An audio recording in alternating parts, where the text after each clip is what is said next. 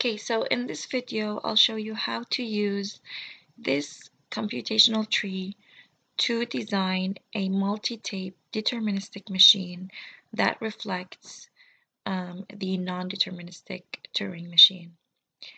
So in this case, we need to show for every iteration um, that the deterministic machine would take to simulate this type of a uh, tracing. So what we would be doing is that we would be designing a deterministic Turing machine that has a control system, but also has a number of tapes. So in the first tape, you would have the uh, input. So it would be A, C, A, B. So that would be uh, your uh, representation. And then it, you would start doing um, the uh, tracing. So at the beginning, uh, you would need to uh, start with the uh, addressing um, so that you can uh, go through each one of the branches. So before I go further talking about this, we are going to look at this and see how did we uh, create these addresses. So right now this is a parent and it has one child, so we give it the number one. Now this is a parent that has three ch children, one, two, and three. And then this parent has one child, so this one is one. And this parent has one child, so this one is one. This parent has one child, so one. And this parent has one child, so one. And so that's how you address uh, nodes in the tree. So now, if I want to determine the branch that I am taking to uh, start the uh, simulation, I will start with a breadth first search. So what I will be doing is I would not address the root. So I just immediately go to the uh, first um, child for this one and since it's only one child so we're going to put on the address here uh, 1 so basically your pointer is now here and you have a pointer here and then we are going to simulate the uh, tracing.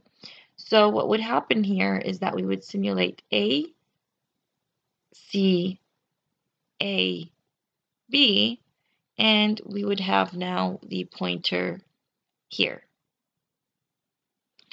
So obviously we do not have an accept uh, configuration, so we need to continue uh, moving on as well. So in the next step, since I did not reach an accept configuration, what I am going to do is I am going to move on to the next node in the breadth first search. So because breadth first search goes um, one level at a time and then goes one, two, three, like that. So in this case, now what we need to do, we need to simulate this one.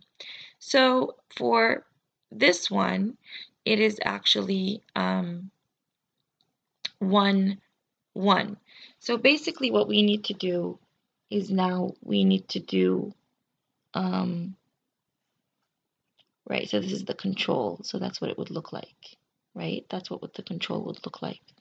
Okay, so now we have our next one, which is now we have the address 1, 1. And now the pointer is here, and we have ACAB, and the pointer is always here because that is the one that we um, we use to um,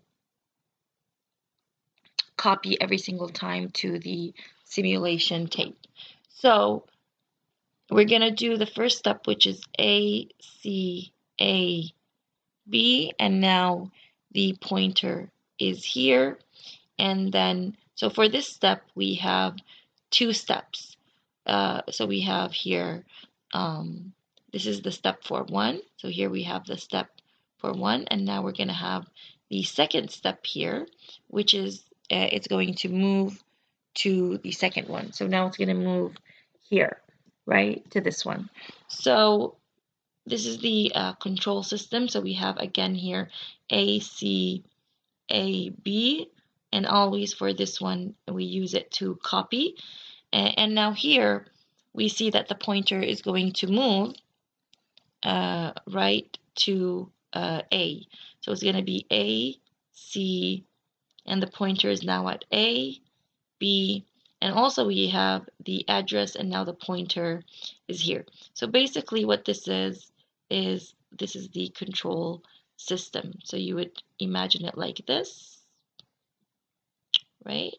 So that's how uh, these pointers for all of these uh, tapes work. Okay, so now we still have not received um, an accept configuration. So what we will be doing now is we will be moving to, because we, we started with this one, this is on this level. Now we have this level, so we're going to start, we started with this one. This one didn't work, so now we need to go to this one. So this is now a, uh, a new step, right? So this is one, two. That is the address of this node. You have to go from the root to 1, then 2 to reach this node. So what we will be doing is that we will be repeating this step again, right? So it's going to be on this tape. We are going to have um, 1 and 2. Okay, so obviously what we could have done is that we could have written 1, 1, 1 here. So we could have written 1, 1, 1, and then 1, 1 again, and then uh, 1, 2 after that. Uh, but uh, for the purpose of showing uh, how we do the tracing, I would um, uh, advise you in the exam to uh, give the representation like this. Okay, so now we are at um, 1, uh, 2. So what we would be doing is that we would have, again, the same input. It's always the same, and the pointer is at the beginning because we use it to copy. Okay, so now what we are going to do for this step, we're going to have the first step, uh, which is uh, the pointer is at 1. So we would have A, C, A, B, and the pointer is at C. So why is the pointer at C? Because you can see here in this step, the pointer is at C, right? So uh, that's why we put it there. Okay, as for uh, giving the states, you don't need to give the states um, here. Okay, so this is basically what this one would look like. Now the next step uh, in this iteration, you would have also AC, AB is always the same. And now the next step would be uh, that the pointer is now at A. So we have A, um, C, A, B, and now the pointer is at 2. So we have it like this, and now the pointer here is at A. So this is basically what it uh, looked like right? These that there is the uh, pointers. So now this didn't work uh, because we are not still at an accept configuration so what we're going to do is that we are going to move to our next node. So in this case what's going to happen is that we are going to go from uh, so we started uh, with going from the root to all the children's of the root.